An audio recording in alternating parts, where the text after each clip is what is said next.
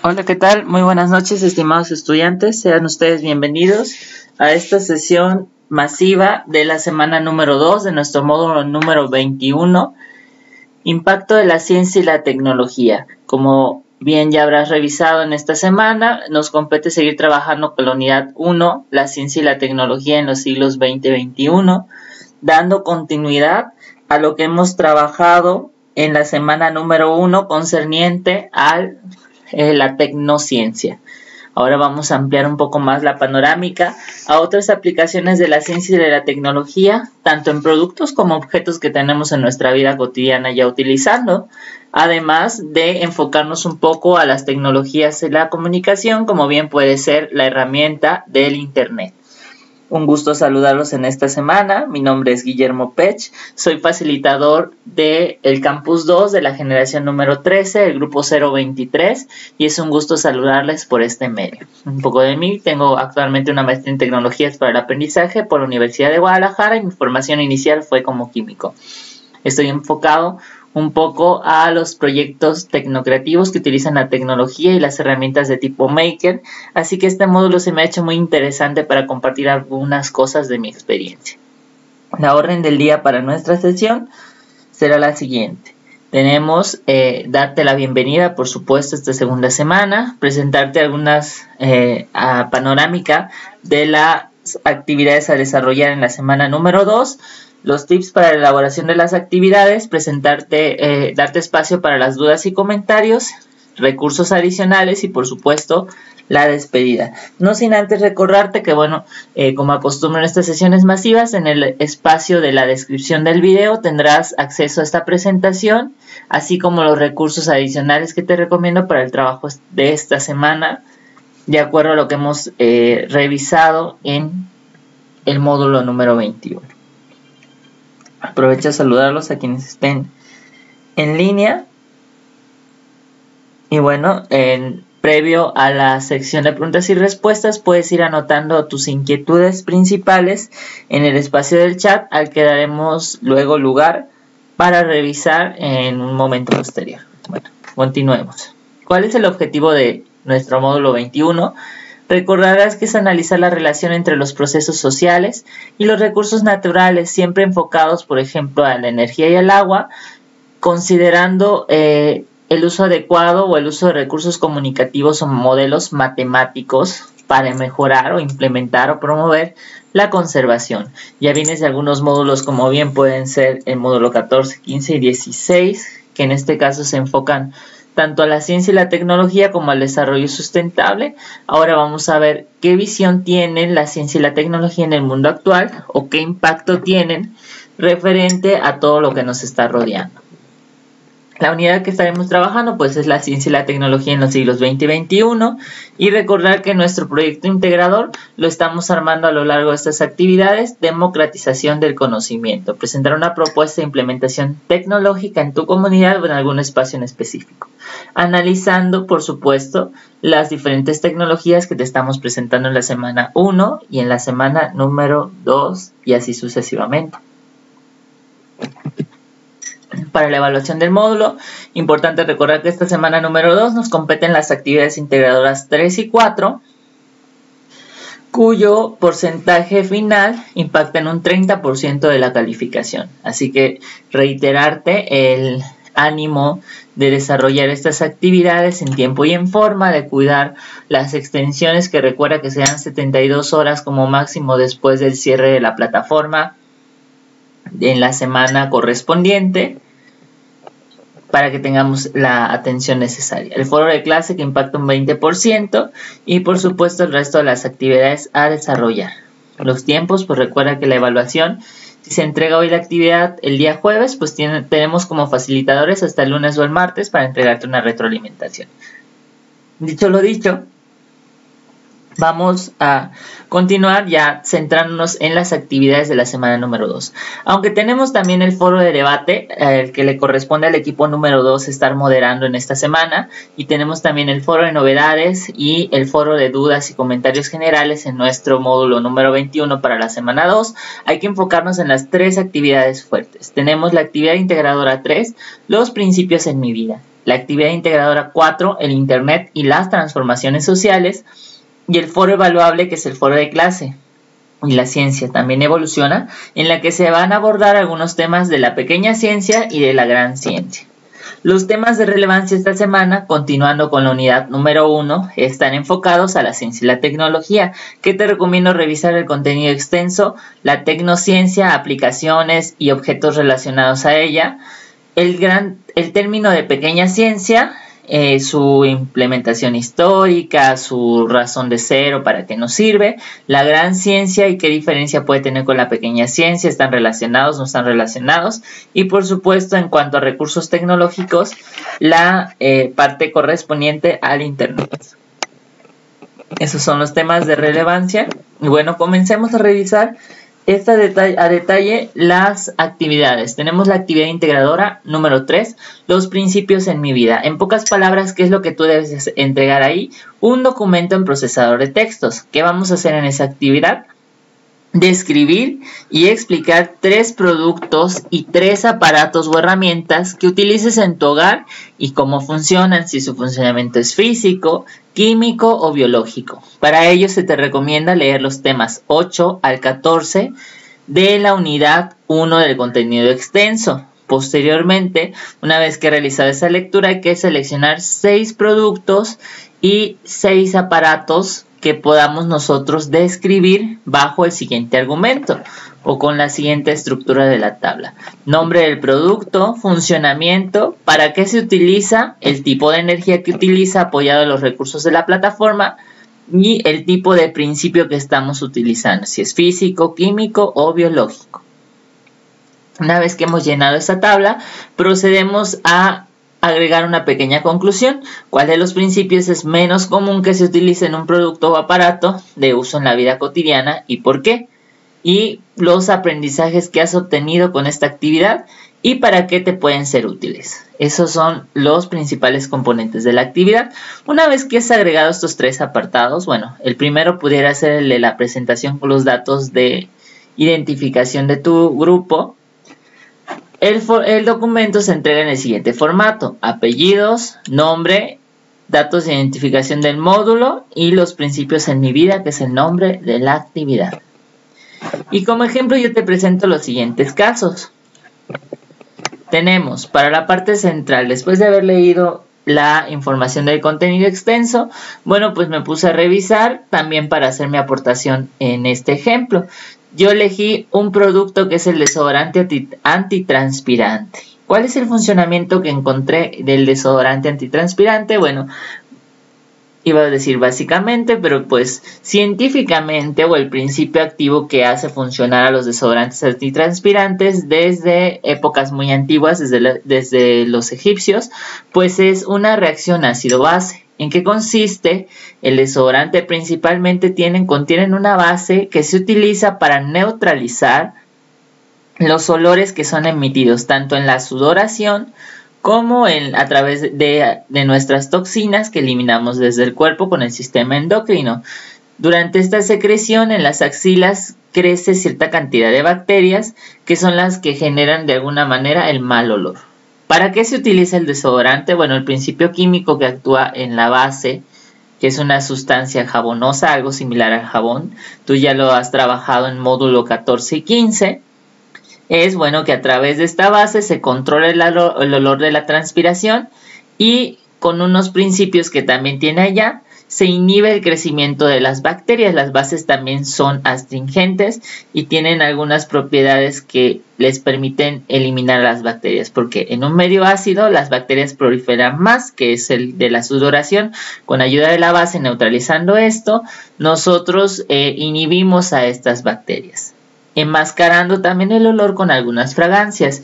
¿Qué tipo de energía se utiliza? Bueno, la energía que se puede utilizar o los cambios que vamos a observar principalmente pues son de tipo químico, que es la reacción de neutralización. El principio que vamos a usar, que es el que está en la derecha, tiene que ver con eso, una reacción de un ácido, que es la sudoración, con una base que viene en el desodorante. Ese es, en pocas palabras, mi producto. Y después me fui a un aparato que es el horno microondas.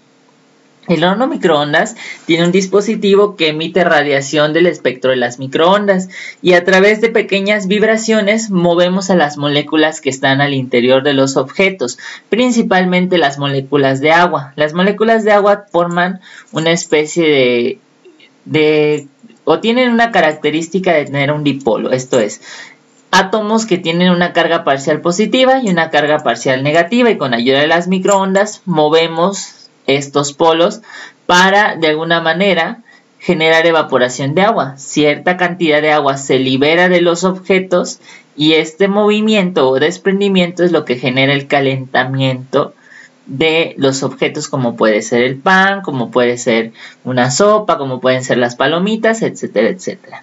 Aunque no las vemos, no toda el agua está en estado líquido. Algunas veces la tenemos incrustada en ciertos objetos y te va a sonar a lo mejor un poco loco, pero pues está atravesado entre algunos sólidos, aunque no lo podamos ver, esto ocurre a nivel de partículas.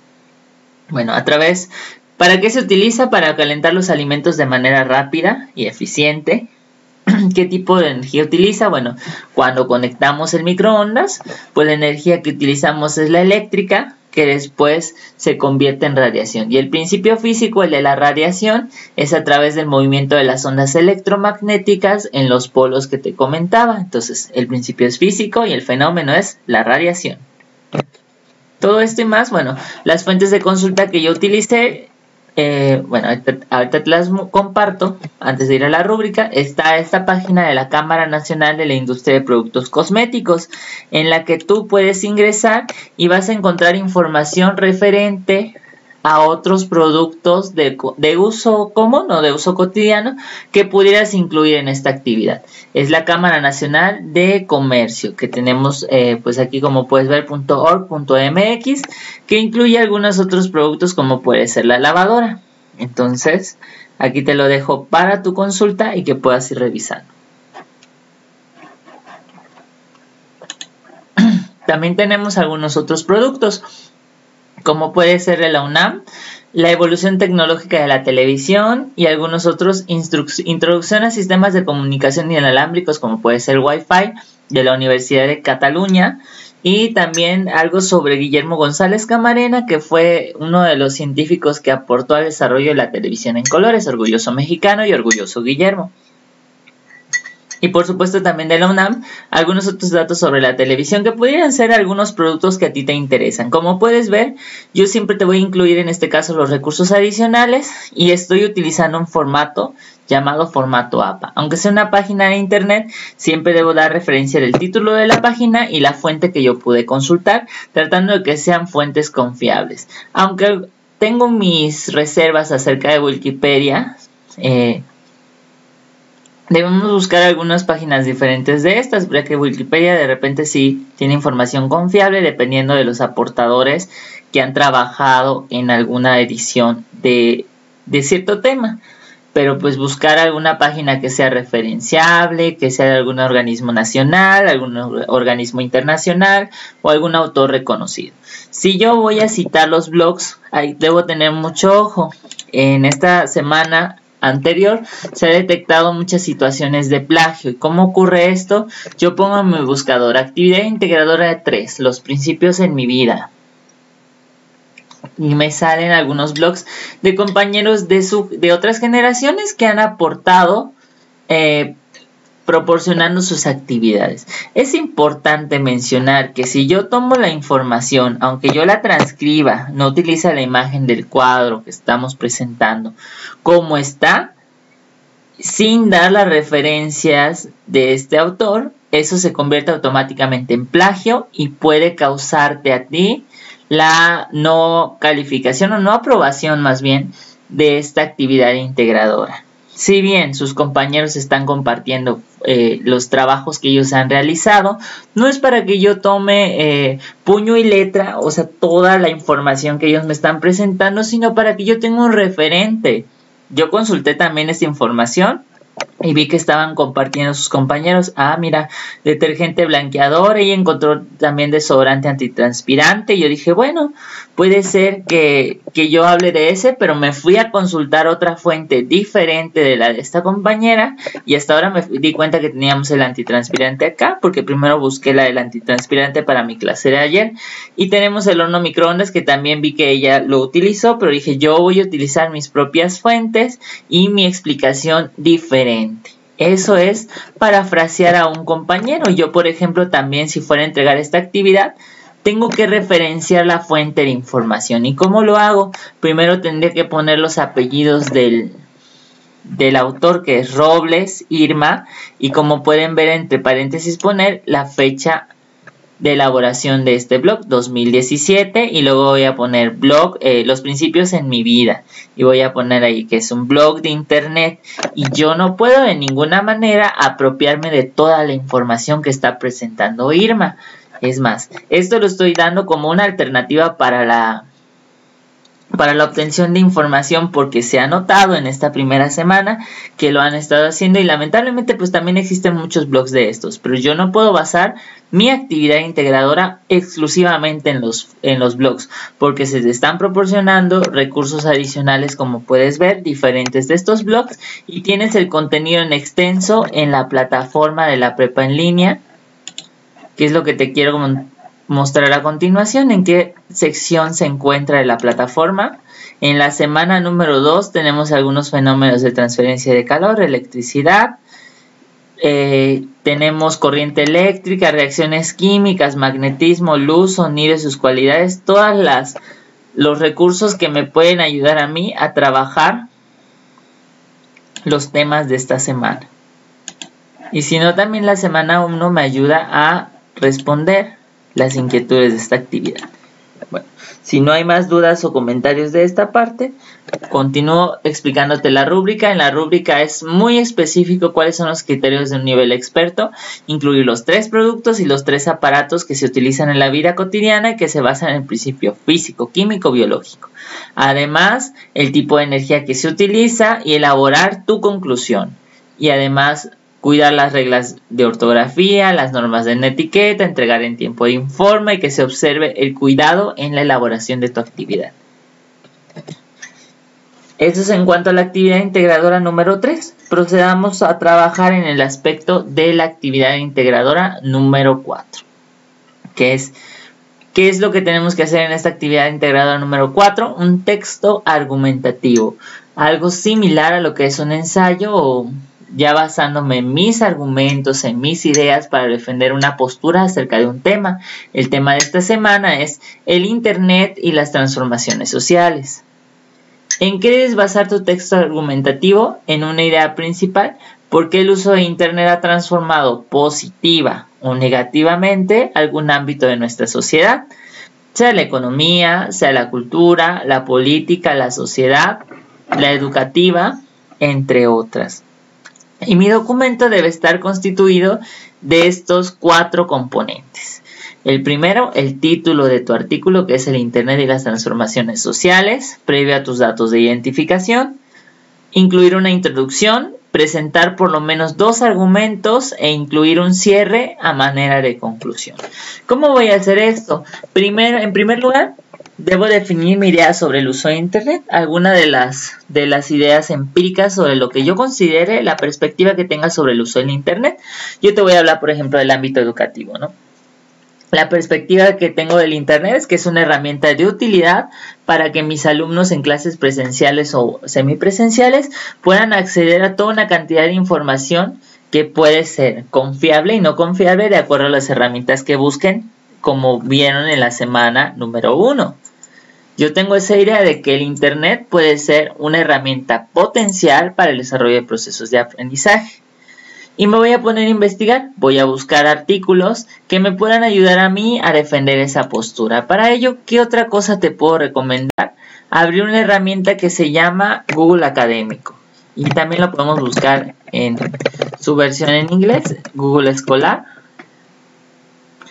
escolargoogle.com en la cual me permite hacer búsquedas de artículos en particular. Como puedes ver, yo ya escribí algunas de ellas, pero voy a hablar en este día sobre el Internet. Vamos a ver qué me aparece acerca del Internet. Puede ser que haya algunas posturas. Bueno, en mi caso era Internet y educación.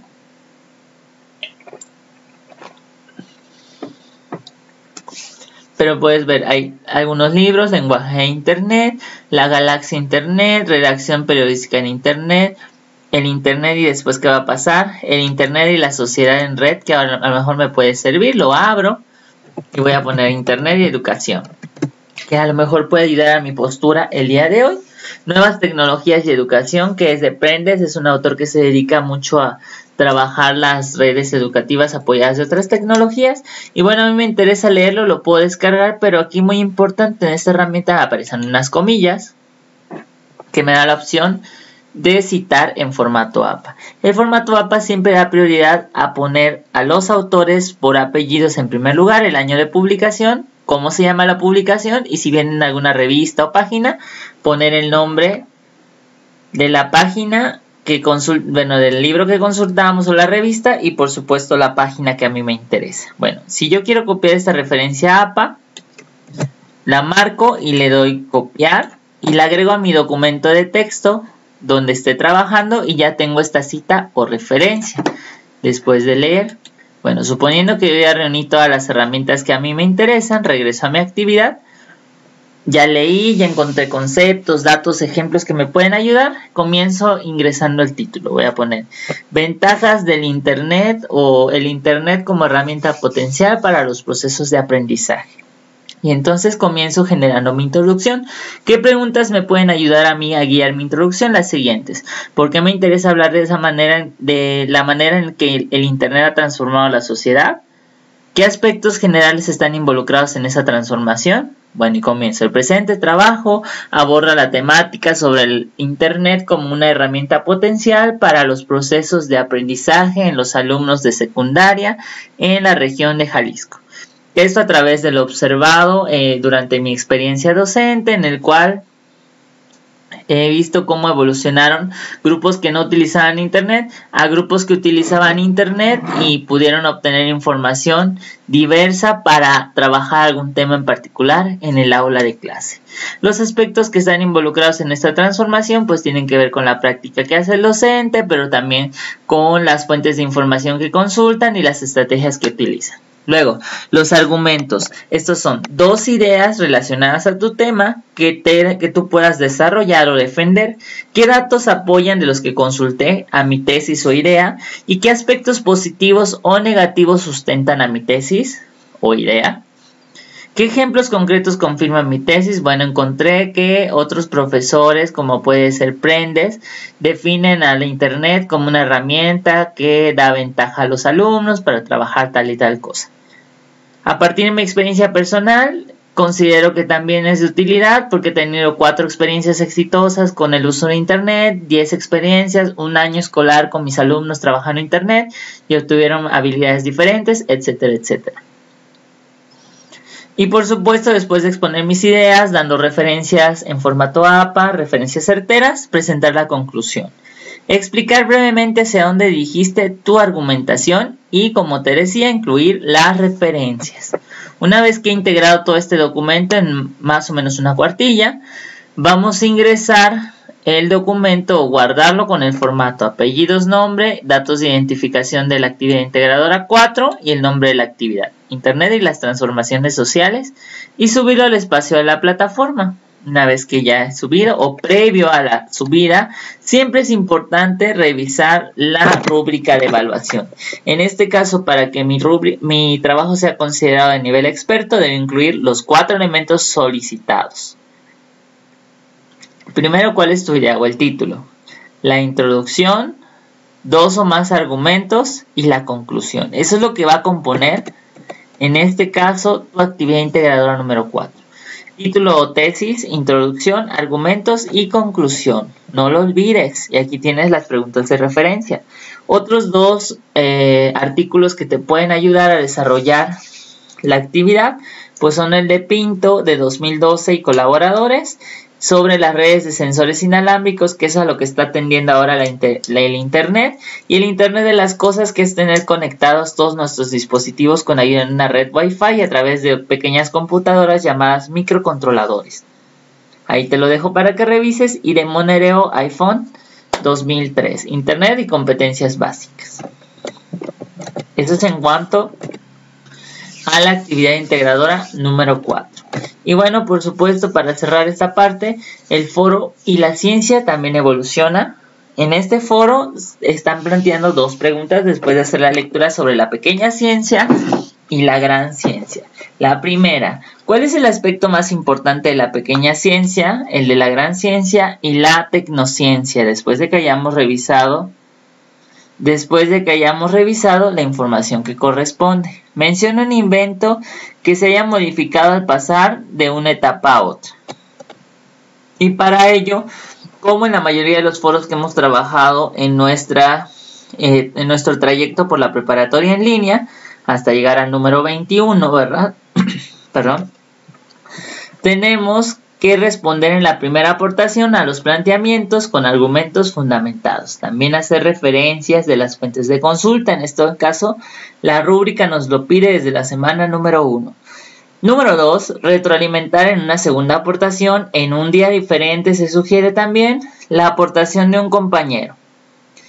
En el número 3, por lo menos, ¿verdad? En tu tercera aportación, realizar una conclusión en la que retomes aspectos relevantes que se abordaron en tu foro de los comentarios que tú leíste y que comentaste de, de los posts, de los comentarios que se hicieron en tu post, en el cual comentaron dos o tres compañeros porque tú comentaste desde el día lunes y si no lo hemos comentado todavía tenemos hoy jueves, mañana viernes y el sábado para completar la discusión por lo menos en tres días.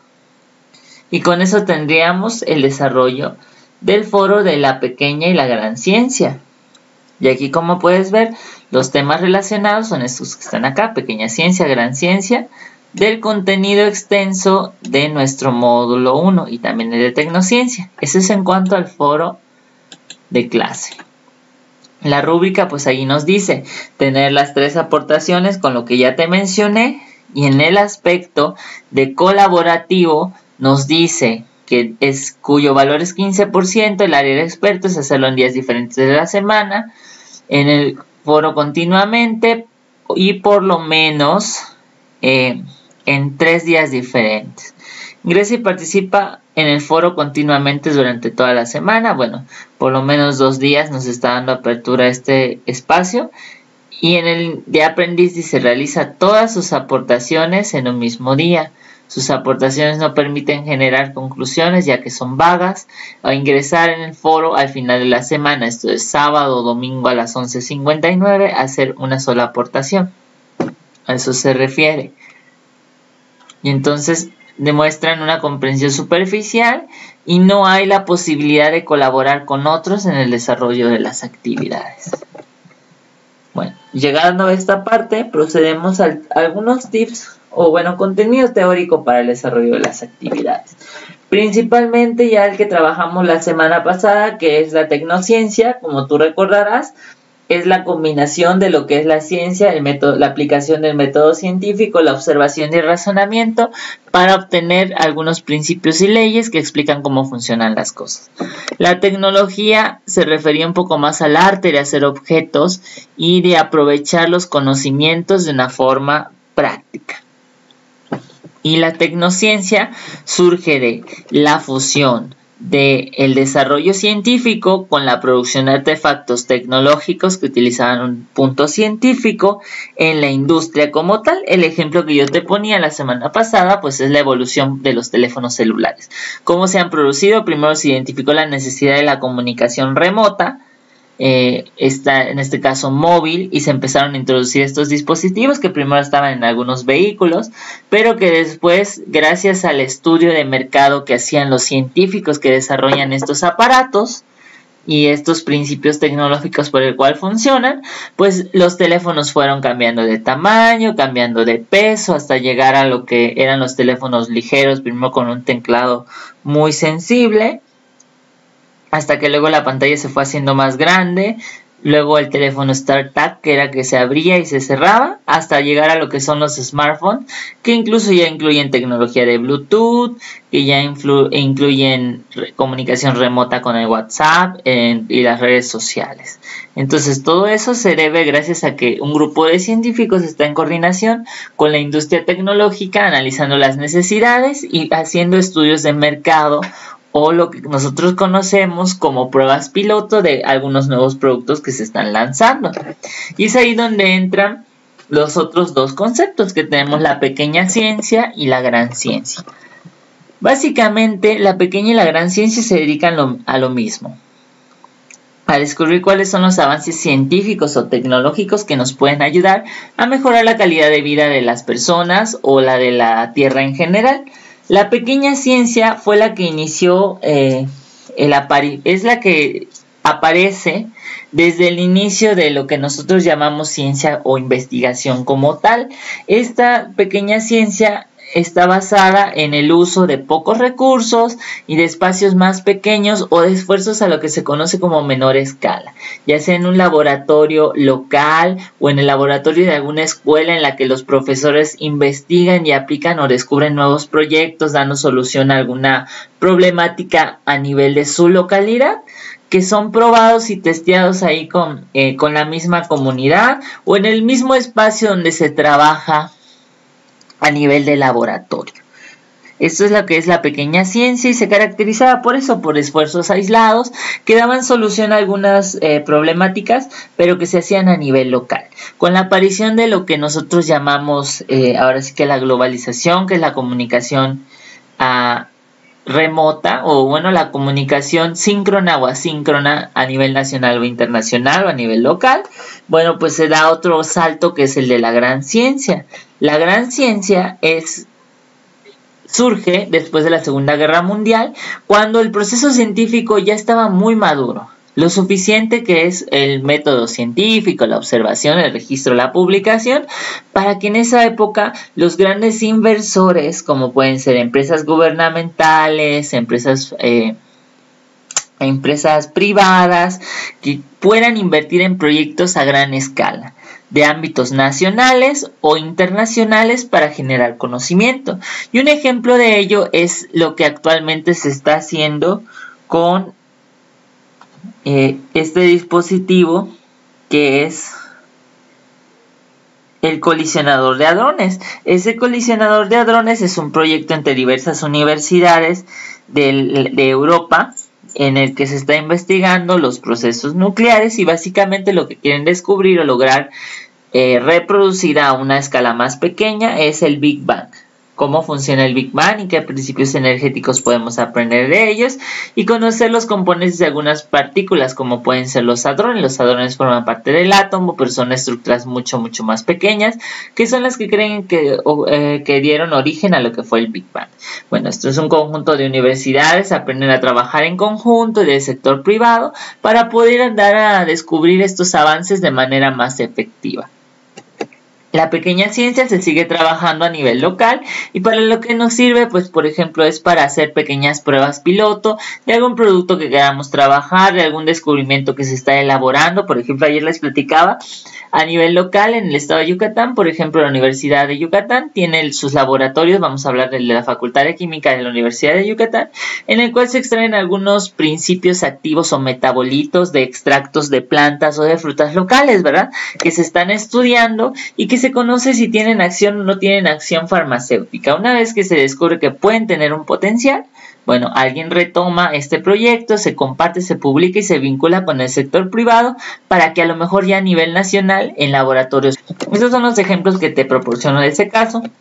Y tenemos, por ejemplo, también la parte de la tecnociencia, recordar que es un híbrido entre la ciencia y la, la tecnología y la investigación, que es eh, ciencia con investigación y tecnología con desarrollo. A la par, estamos produciendo de manera más rápida y eficiente eh, las mejoras a nuestras necesidades cotidianas.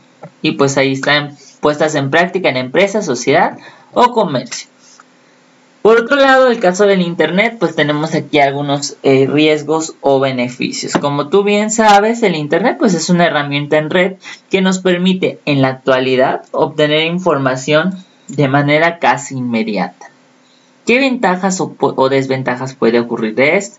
El Internet pues, se considera una herramienta en la que hay diferentes eh, tipos de datos a los que podemos acceder nosotros como usuarios y en algunas ocasiones también lo utilizamos para proporcionar nuestros datos e información en aquello que nosotros llamamos por ejemplo redes sociales o para compartir alguna carta con algún compañero, acceder a nuestras cuentas de banco, etcétera, etcétera. Entonces, ¿Qué ventajas tenemos del Internet actualmente? La inmediatez de resultados. Yo puedo realizar búsquedas en Internet con ayuda de los buscadores, como hicimos hace un momento, de casi cualquier cosa que a mí me interese, ¿verdad? Y voy a poder obtener información tanto confiable como desconfiable. ¿De qué depende de que yo encuentre esta calidad de información? Bueno, del criterio de búsqueda que yo utilice y de que las páginas, en su caso, puedan ser páginas confiables de universidades o de algunos autores reconocidos.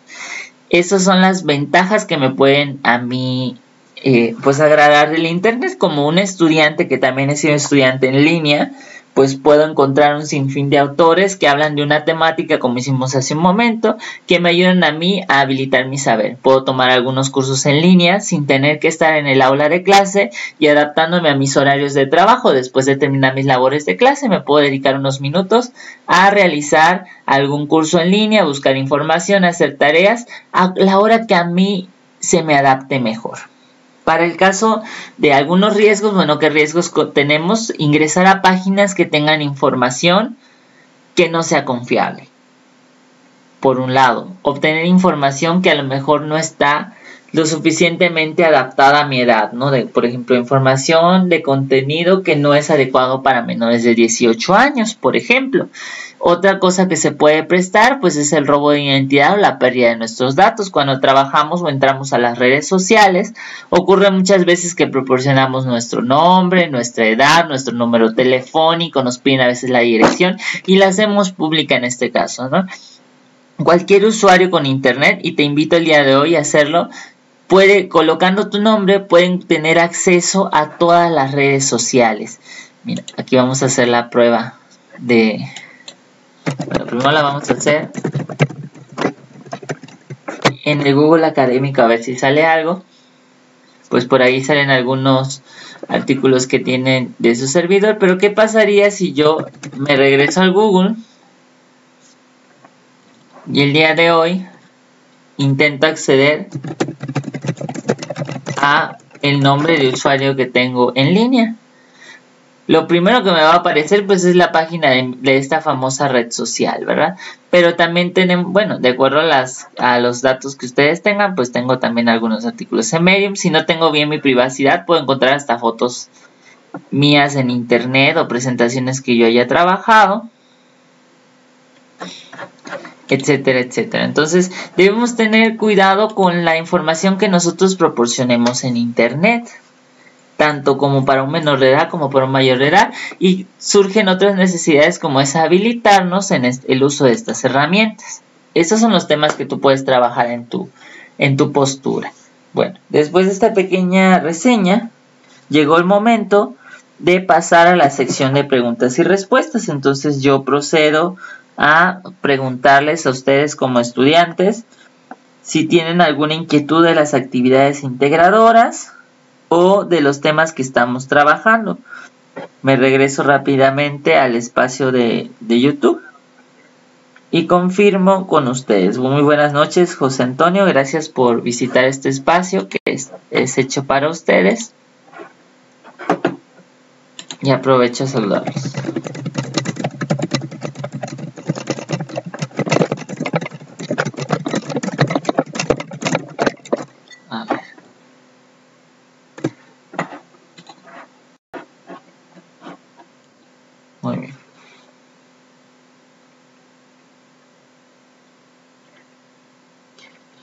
Muy bien, en este momento estamos revisando dudas e inquietudes acerca de las actividades integradoras.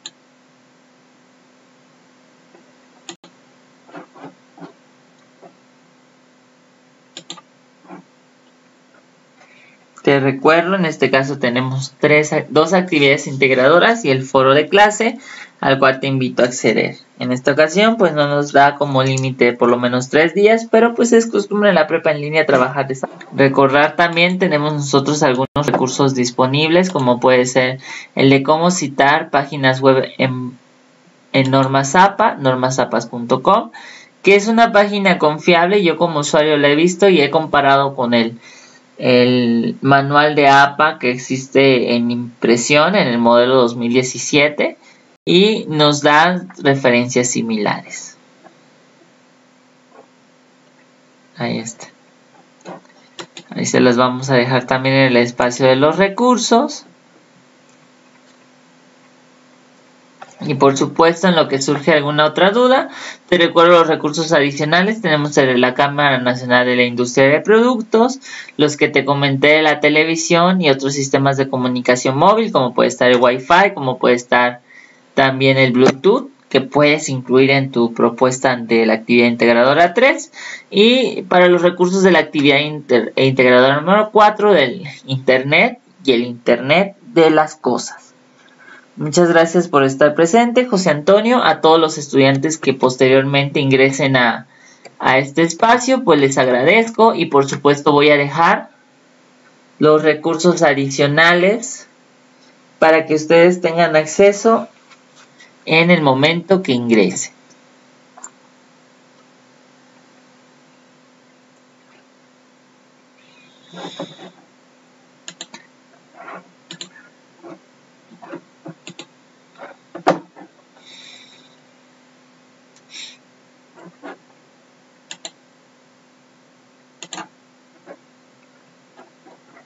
Muy bien. Bueno, entonces regresamos a la presentación. Hemos cubierto los principales aspectos a desarrollar en esta semana.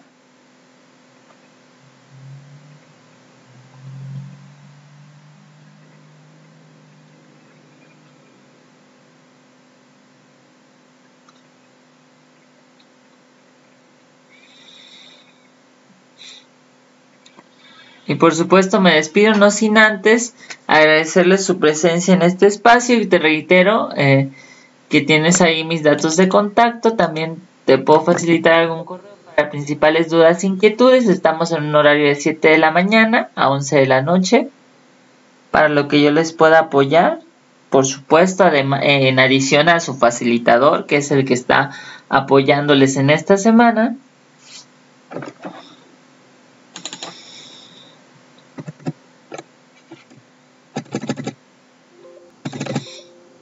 Y bueno, esto ya me Con esto ya me despido de ustedes, no sin antes agradecer su presencia en este espacio. Mucho éxito en el cierre de esta semana número 2. Que tengan una excelente noche.